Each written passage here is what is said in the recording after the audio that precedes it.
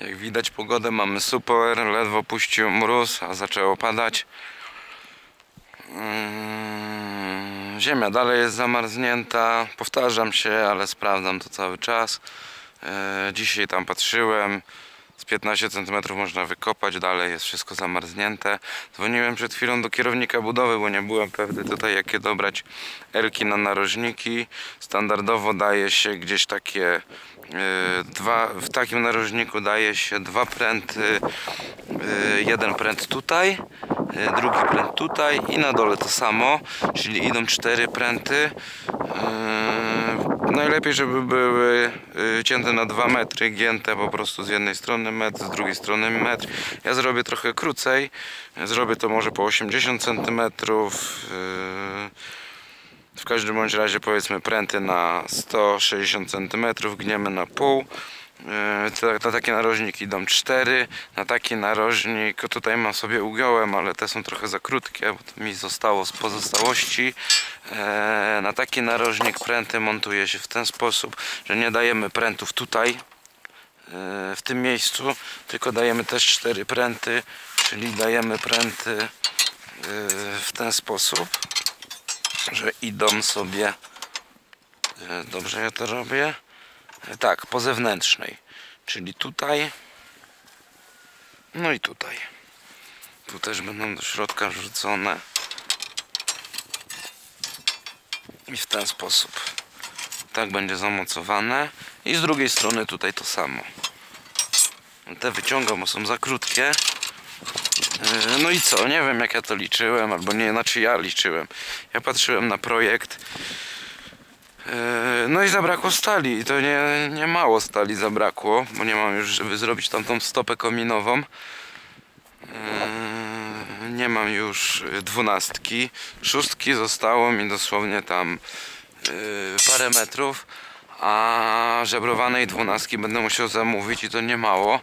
W tym przypadku na narożniki wyliczyłem sobie 140 metrów plus jeszcze na komin, więc będę musiał, tam zapisałem sobie jakieś 160 metrów jeszcze stali zamówić. To już nie ma problemu, bo już nie będę musiał za żaden transport płacić, bo ja sobie to mm, kupię w odcinkach 6-metrowych, potnę sobie na miejscu tak jak potrzebuję, podłączę się tam gdzieś w hurtowni do szlifierki, podłączę po, y, i wrzucę sobie po prostu na pakę, więc transport y, swój, więc mogę sobie pozwolić na to, żeby wyliczać to jakby ten materiał na styk. Yy, No i tyle. Yy, Potnę sobie jeszcze te, te kostki betonowe. Pada deszcz, też nie ma sensu siedzieć na tym deszczu, bo yy, po godzinie czasu to człowiek będzie cały mokry. I niestety, no ja mam swoje plany, Bóg ma swoje. Nic z tym nie zrobię.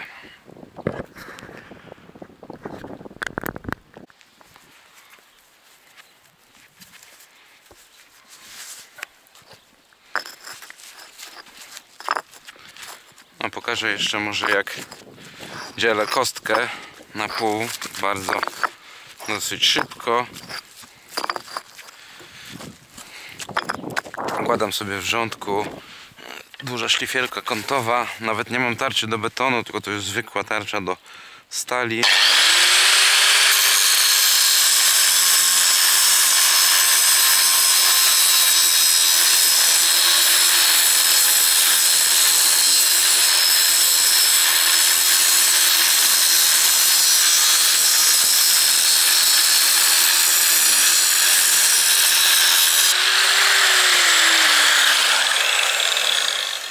Jest mniej więcej tak jak z szybą, wystarczy nadać tutaj tylko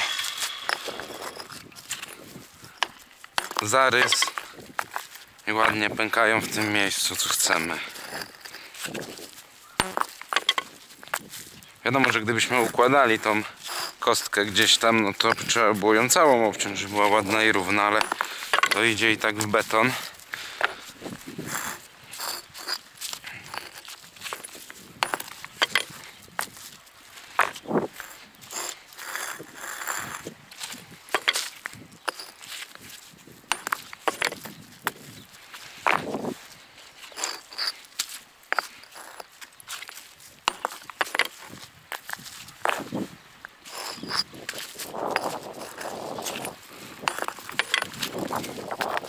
Staram się przygotować wszystko co mogę.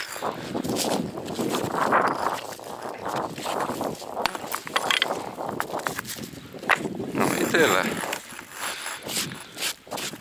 Wezmę sobie te kosteczki, potnę chociaż, żeby już mi tu nie stały. O, ogólnie to jak się kupuje kostki, to w każdej warstwie jest chyba dwie albo cztery już gotowe, pocięte. Fajnie by było jakby nam sprzedali, wybrali w hurtowni ewentualnie, tak? Ale to raczej małe prawdopodobieństwo. Raczej dostaniemy takie. Najtańsza kostka betonowa.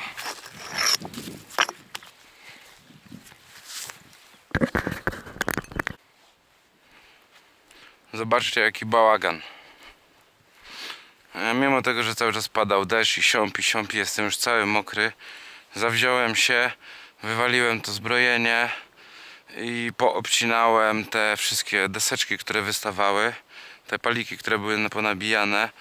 E, Poobcinałem je, żeby nie przeszkadzały, żeby to zbrojenie się nie zaczepiało. O nie, druga sprawa, będzie łatwiej później y, ściągnąć jakąś łatą czy dechą, jak już będzie zalane. Będzie łatwiej ściągnąć to do poziomu. Eee, No i tak to właśnie wygląda. Idę teraz jeszcze posprzątam ten bałagan i no i to wszystko. Tutaj jeszcze troszeczkę powybierałem ziemię. Dalej oczywiście zamarznięte.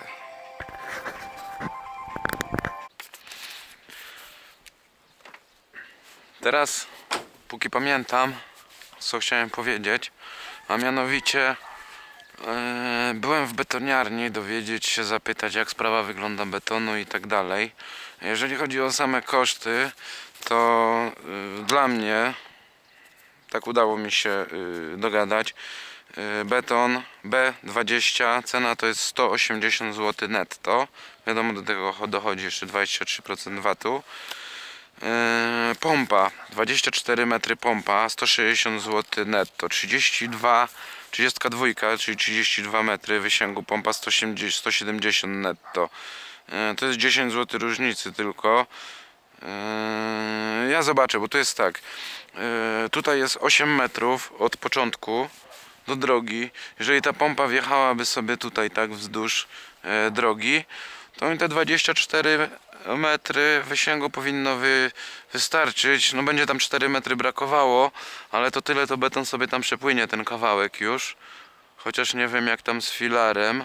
Ja sobie jeszcze to zmierzę dokładnie. Yy, Zresztą ma yy, dogadałem się jeszcze w ten sposób, że ma tu przyjechać yy, szefowa z kierowcą. Kierowca musi sobie zobaczyć tą drogę, no bo o co chodzi? Eee, To jest 100 metrów drogi, że tak powiem. Nie jest to droga jakoś tam specjalnie utwardzona. Ona się cały czas utwardza. Widzieliście to wcześniej, co się działo, jak przyjechały bloczki. Latem był tu przywieziony piach, więc tutaj też e, szwagier przywoził mi ten piach, więc jak on tutaj wjeżdżał, to widać jeszcze tutaj, jakie tu kolejny się zrobiły. Ale to było latem, to było 30 ponad ton. I tu się robiły takie kolejne. E, więc y, teraz jest to wszystko puszcza, to wszystko od, ta, od, od marza, więc niby jest jeszcze taki moment, że, e, że to będzie trochę zamarznięte, ale to kierowca sobie sam to musi zobaczyć, czy on tutaj wjedzie. Wiadomo, wjechałaby tutaj pompa.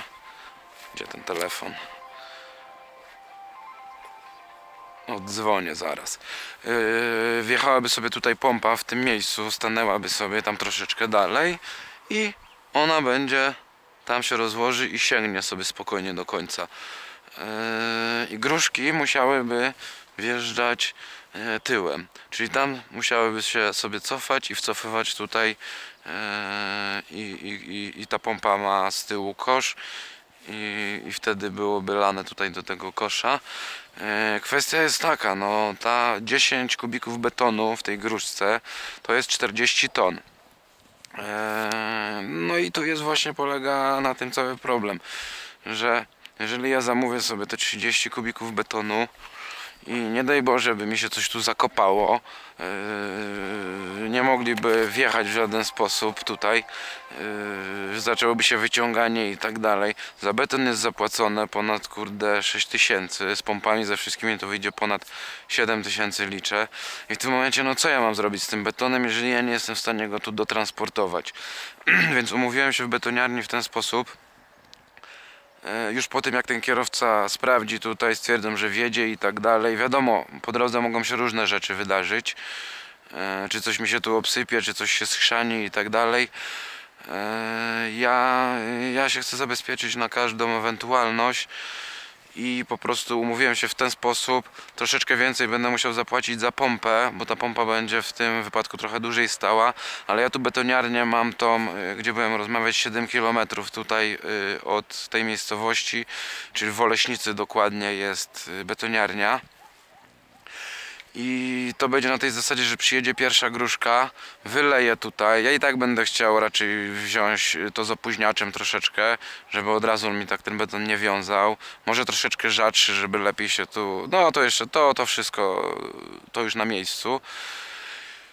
Eee, I co ja chciałem powiedzieć? I dopiero w momencie, kiedy będzie wszystko ok, będę widział, że ta pierwsza gruszka wjechała, że ona sobie wyjeżdża, dopiero będę dawał cynka do betoniarni, no oni będą puszczać następną gruszkę. Kto chwilę będzie pompa, będzie miała chwilę przestoju, ja będę musiał za to zapłacić oczywiście, ale te 15 minut yy, mnie naprawdę nie zbawi, a gdyby przy, podczas tej pierwszej gruszki coś było, jakieś problemy, no to wtedy będę wiedział, jak to w czasie rozłożyć wszystko, żeby żeby to, bo wiadomo, jeżeli ja zacznę to zalewać, to musi być już zalane w jednym procesie technologicznym. To nie ma tak, że ja sobie dzisiaj e, wyleję 10 e, kubików, e, jutro 10 i pojutrze 10. Nie, to musi być zalane wszystko w jednym procesie technologicznym. Gdyby w przypadku na przykład pojawiły się jakieś takie problemy, że no zakopię się tutaj i nie wiedzie mi, on będzie musiał, ten beton i tak będę musiał zamówić i następny i następny, chociaż jeżeli przy przy pierwszym, no to dobra, coś się wymyśli, ale, ale jeżeli na przykład y, są takie sytuacje, że nie wiem, przyjeżdża kurde beton, gruszka się zakopuje i nie może wjechać tutaj w ogóle.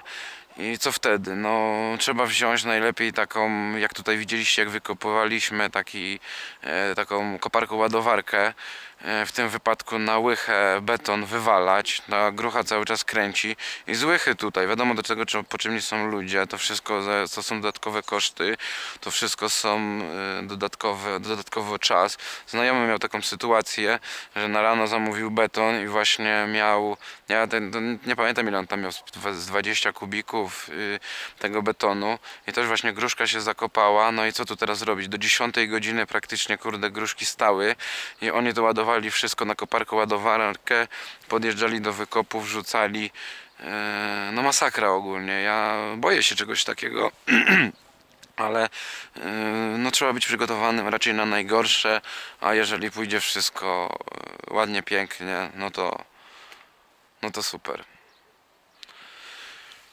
Więc to jest dodatkowy stres i o tym też trzeba pamiętać. Trzeba pamiętać jaki macie dojazd na tą budowę, bo wywalić teraz 8 koła, czyli że na utwardzenie tego, czy tam na utwardzenie, na wysypanie chociażby gruzu i w jakiś sposób utwardzenie, no to jest, e, to nie wiem, czy nie lepiej było czekać teraz dwa miesiące, yy, aż to wszystko wyschnie, no.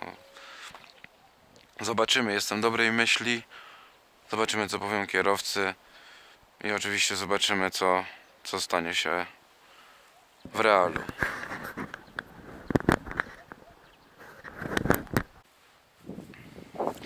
Praktycznie godzinę, godzinę po tym jak byłem w betoniarni rozmawiać e, przyjechała kierowniczka z, z kierowcą.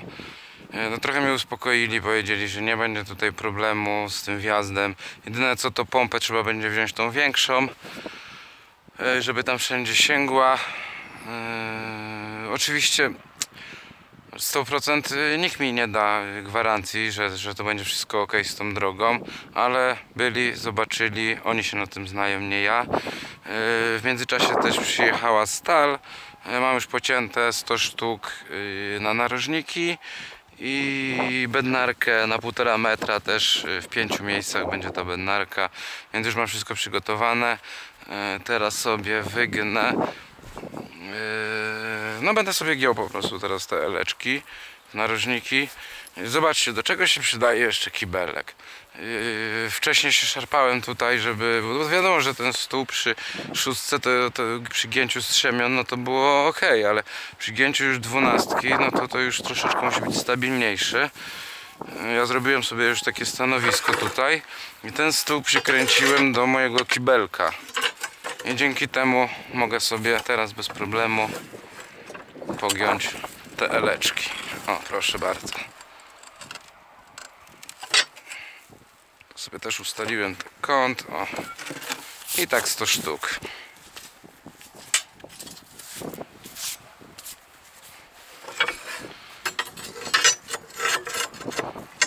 Więc naprawdę kibelek jest uniwersalnym. Uniwersalną budowlą.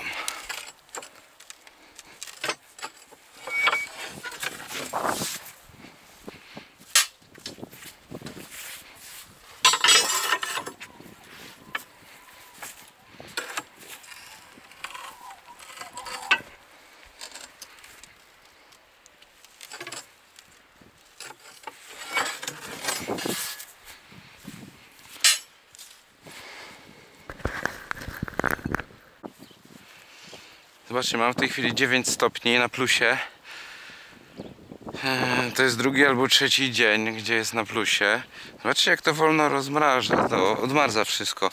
Mm, Ja postanowiłem troszeczkę to wybrać, żeby tak jak to słońce świeci, żeby to mimo wszystko szybciej yy, puściło. Yy, I teraz tak, yy, jaka, jakie zróżnicowanie w ogóle jest, jakie różne piachy. Tutaj na przykład zobaczcie, to jest jeszcze wszystko zamarznięte. To oczywiście też powybierałem, ale mniej. Yy, To są tak zwane iły, te takie jaśniutkie piaseczki, one są takie drobniutkie. One troszeczkę wolniej rozmrażają. I mniej więcej jak to idzie. A teraz schodzę tu w dół. Normalnie jest moment. To są te grubsze piachy. I wchodzę ładnie w dół.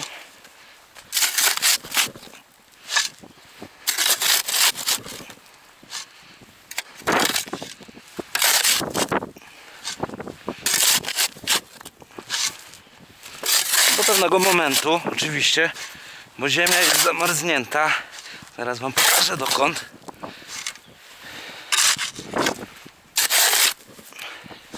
No to już do końca powinno tak iść gdzieś na tym poziomie. Czyli jakieś 20 cm. Dalej jest znowu te iły, które są zamarznięte. Ja sobie już praktycznie wykopałem w koło tą górną warstwę, to co zdążyło udało mi się e, zebrać. To wszystko już puszcza dalej, bo to było zbierane dziś, nie, to było jeszcze wczoraj.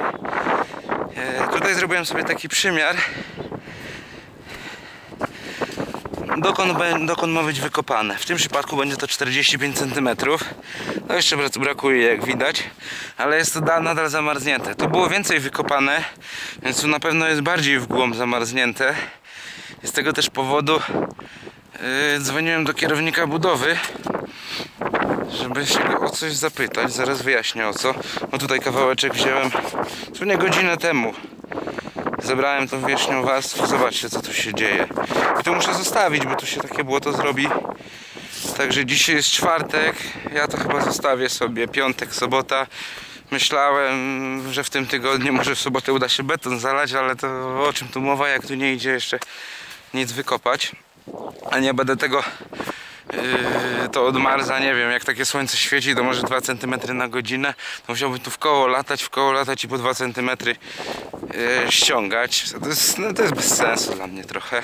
Yy, a tu tutaj dzisiaj rano zrobiłem sobie taką próbę, jak głęboko to jest zamarznięte.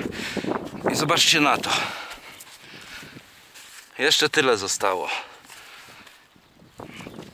Tu już jest, o proszę bardzo, ten ił już można go skrobać palcami. I teraz od tej góry, od górnego poziomu e, jest zamarznięte było na jakieś 50 cm. Zależy, no w jednym miejscu mniej, w drugim więcej, jak widać. Yy, nierówno ta ziemia, ten piach zamarza.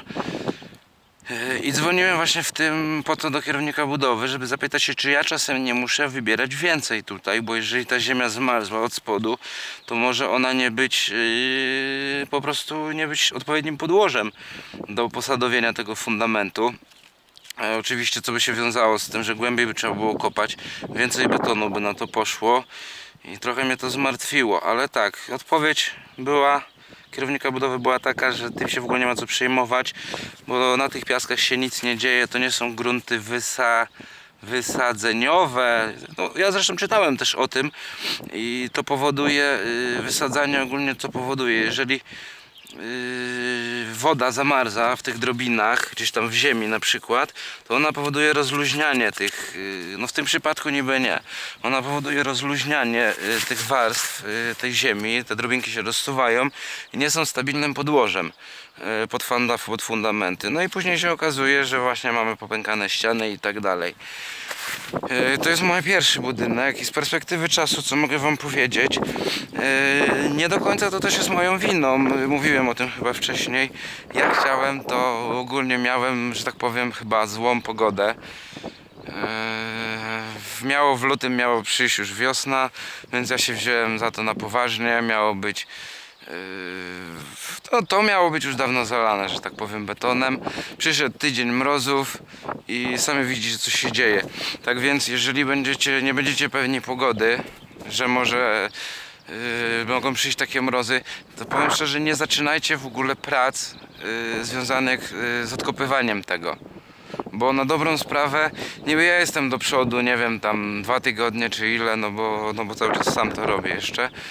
I ta praca zajęła mi może dwa tygodnie, może pff, nie wiem, jakbym tak godziny zliczył, to może było to półtora tygodnia, może mniej.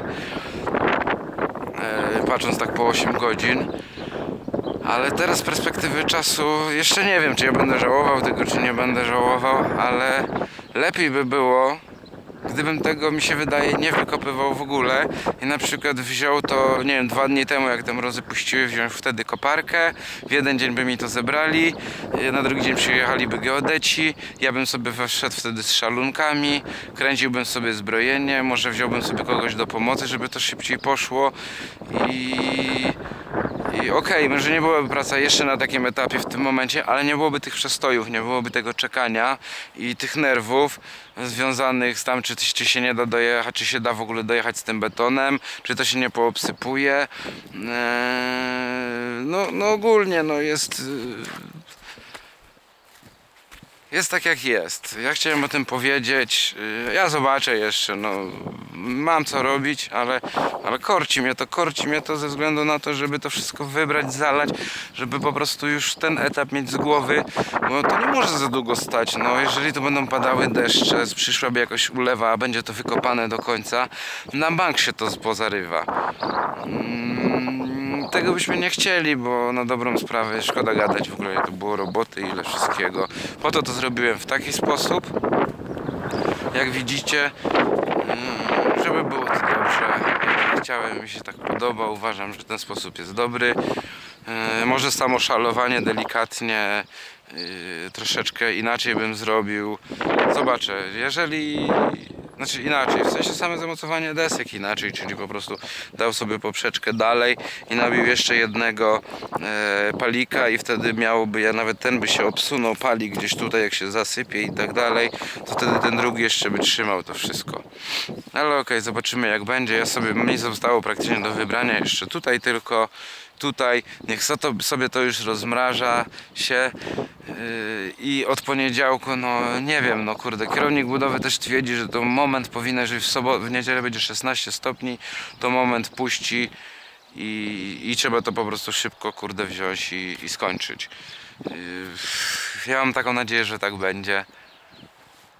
Zobaczymy. Zobaczę, nie będę czekał chyba do poniedziałku, do wtorku dalej, tylko wrzucę ten materiał, który też mam, który dzisiaj powiedziałem, to co w tej chwili mówię do Was, żebyście sobie zobaczyli, znowu będzie trzy dni jakiegoś przestoju, ewentualnie może sobie wpadnę coś tam pokopać, jako bardziej dla testów, zobaczyć z jaką prędkością ta ziemia, y, te iły przede wszystkim, bo ten piasek to szybko, ten, ten gruby piasek szybko y, puszcza, Mm, To jest też forma jakiegoś takiego doświadczenia. Chcę zobaczyć jak, przy jakiej temperaturze, przy jakim nasłonecznieniu będzie, będzie to puszczało. I tyle na ten temat.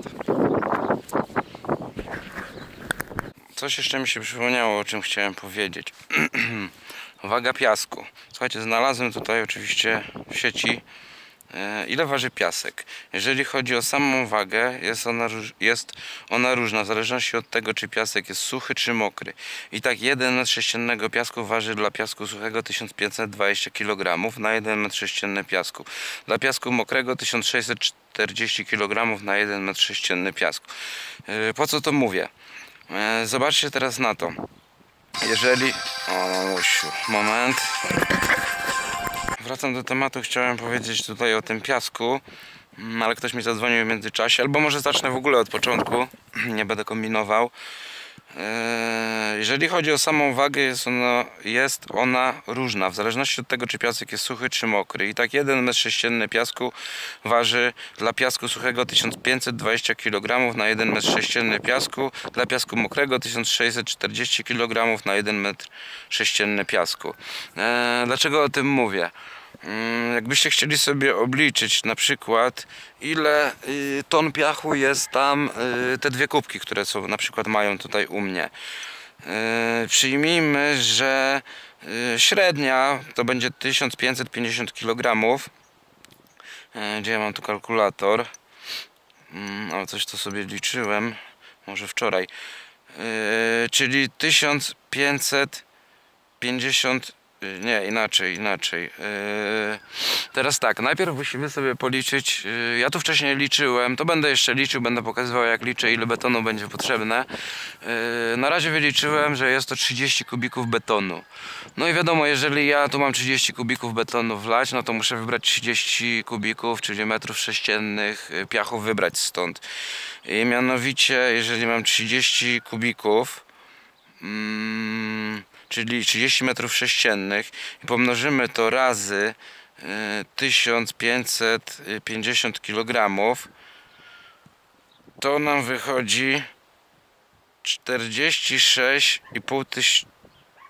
Nie, co ja tu liczę, kurde. Jeszcze raz, 1500... Jeszcze raz. Y, 60... Nie, 1550 kg waży jeden kubik i razy to 30, czyli dobrze. Wychodzi nam 46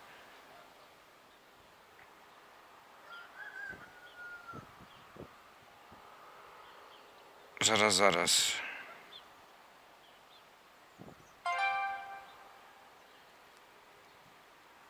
Ja muszę sobie to ogarnąć na spokojnie, coś tu chyba. Dobrze, pokiczkało mi się wszystko, bo przecież ja liczę teraz y, nie te kubki, które mam tam, tylko liczę e, to, co mam tutaj wybrane. E, Czyli 46,5 tony. Jeżeli policzę to w ten sposób, że mam tu 30 kubików. Nie, ja muszę to nagrać jeszcze raz. Jeżeli chodzi o samą wagę, jest ona różna w zależności od tego, czy piasek jest suchy, czy mokry. I tak jeden sześcienny piasku waży dla piasku suchego 1520 kg na 1 metr sześcienny piasku. Dla piasku mokrego 1640 kg na 1 metr sześcienny piasku. Yy, przyjmijmy sobie, że u mnie piasek waży 1550 kg za 1 metr sześcienny. Yy, biorę sobie kalkulator. I tak, jeżeli ja tu wyliczyłem sobie, że mam tu 30 metrów betonu, więc wychodzi mi 30 metrów sześciennych piachu. Mnożę sobie razy to 1550, wychodzi mi 46,5 tony. Ja muszę tutaj wybrać piachu. E, Na razie wybieram sam, powtarzam się. E, Jeżeli ktoś będzie mi pomagał, niekoniecznie ja to może pokażę, bo może ktoś sobie nie życzyć. Eee, ale powiem wtedy, że robiliśmy to we dwóch albo we trzech i tak dalej. W tej chwili robię sam i muszę wybrać 46,5 tony piachu stąd. Eee, dlaczego o tym mówię? Wczoraj troszeczkę powybierałem i powiem szczerze, trochę mnie plecy zabolały, więc pojechałem dzisiaj rano sobie do Decathlonu. Za 46 zł kupiłem sobie taki pasek e, lędźwiowy, który się używa na siłowni gdzieś tam jak się, y, jak się dźwiga jakieś ciężary i tak dalej. Ja sobie zakładam go na plecy i powiem wam szczerze, jest trochę lepiej. Yy, no naprawdę nie obciąża to tak, to tak kręgosłupa. Dlatego właśnie chciałem o tym powiedzieć, o tej wadze piasku. Yy, Tak jako ciekawostka, kogoś jeszcze interesowało, te dwie góry piachu, które tutaj mam z tyłu, yy, jaka to jest waga. Przyjmując, że mam tu 20 metrów, Yy, na przykład na 16, bo to jest gdzieś wykop 20 na 20, ale są takie, takie nie do końca wykopane, więc niech to będzie 20 metrów na 16 metrów. I to jeszcze razy głębokość było 60 cm, czyli to przyjmuje razy 0,60. Yy, I to jest 192 kubiki piasku. I 192 kubiki piasku razy 1550 kg. Zobaczcie ile e, razy 1550 jako jeden kubik. Zobaczcie ile tutaj jest. E, Prawie 300 ton mają te, te, te, te dwie górki. Nie wyobrażacie sobie chyba, żeby 300 ton samemu e, E, ręcznie wybierz, wybrać i przewieźć to jeszcze taczką. Ja te 46 ton, które tutaj mam, to, to naprawdę jest tu przy czym, przy czym się bawić. Dlatego pas to dla mnie taka pozycja obowiązkowa. Nie chcę się to załatwić na tym etapie. I to oczywiście chciałem powiedzieć jako ciekawostkę.